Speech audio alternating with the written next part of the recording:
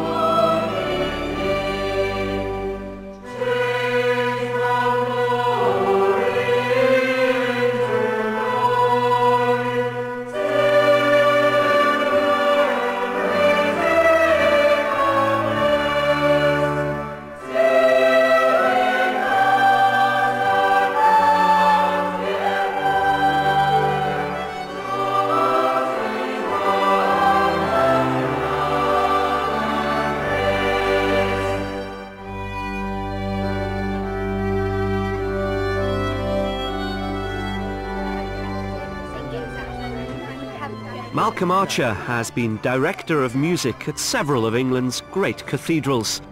And his talent for arranging pieces for young singers is put to good use in his present role at Winchester College. There's always new texts being written and there's always new music to be written. One should never stifle that flow of inspiration. And you never know when a new gem is going to be composed and each generation will produce its great music as it has for years and years and years.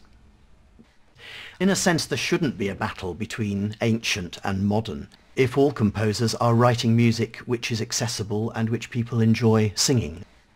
And I think that's a very important starting point for me. I always want to write music which I feel will stand the test of time, hopefully, and which people will want to perform and want to sing.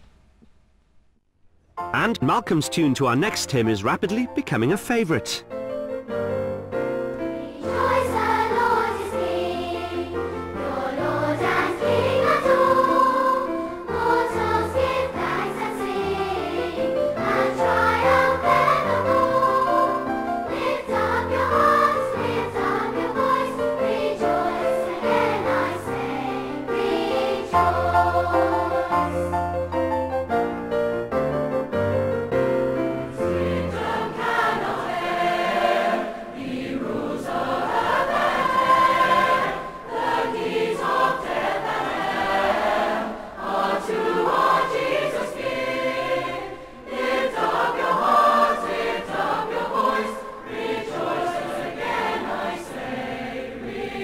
Música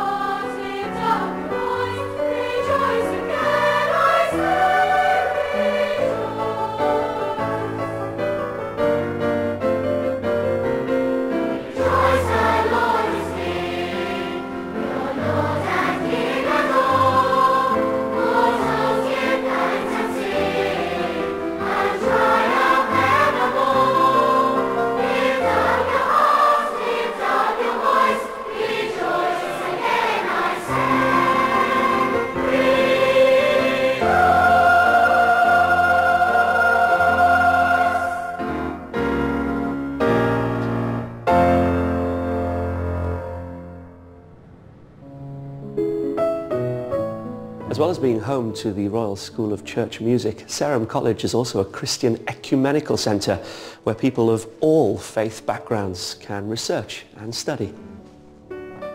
Despite its Anglican roots, the Royal School of Church Music uh, is, is an ecumenical organisation and we work very closely with a range of different, uh, uh, different traditions. I suppose We've exemplified this in our Sing Praise, a new hymn book, which tries to draw in on all those different traditions. When Methodism began, hymn singing was very important. Also in the Roman Catholic Church, there's very, very important hymn writers. Bernadette Farrell does a tremendous job in writing music and uh, hymns for the Roman Catholic Church. Sometimes people say, oh, I didn't know you were still alive. Sometimes they say, oh, I was expecting a, an older lady with you know, white hair and a bun. For me, music is a language of faith. We've all got the reign of God inside us. We all want to see a world where people no longer die of hunger and war, where everyone has an equal chance. But do we wait for someone else to make that happen? Writing is part of my response to the scriptures. And the scriptures are full of the reign of God. Um, we need all the gifts that God's given us to bring that reign about.